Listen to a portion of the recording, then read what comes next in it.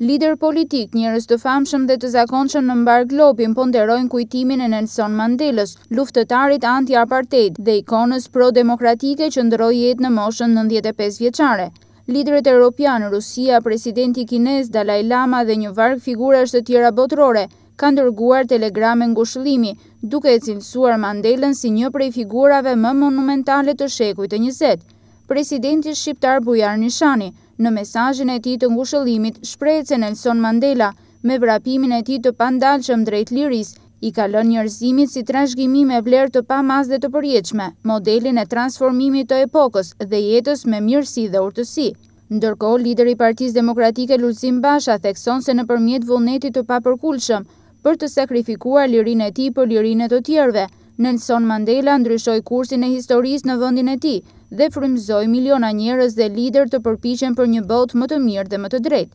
Presidenti i Shteteve të Bashkuara Barack Obama ka urdhëruar që flamujt amerikanë të ulen në gjysmështizë në Shtëpinë e Bardhë si shenjë nderimi për Mandelën. Ish-presidentët Jimmy Carter, Bill Clinton dhe George Bush e vlerësuan Mandelën si një pishtar të lirisë, dinjitetit njerëzor dhe barazisë. Sekretari i Përgjithshëm i Kombeve të Bashkuara Ban Ki-moon, tha se ndjeu trishtim të thellë nga lajmi dhe u bëri thirrje të gjithëve të frymëzohen nga Mandela dhe të përpiqen për një botë më të mirë dhe më të drejtë. Kryeministri britanik David Cameron e përshkroi Nelson Mandelën si një hero të vërtetë global, duke thënë se një dritë e fuqishme është shuar në botë.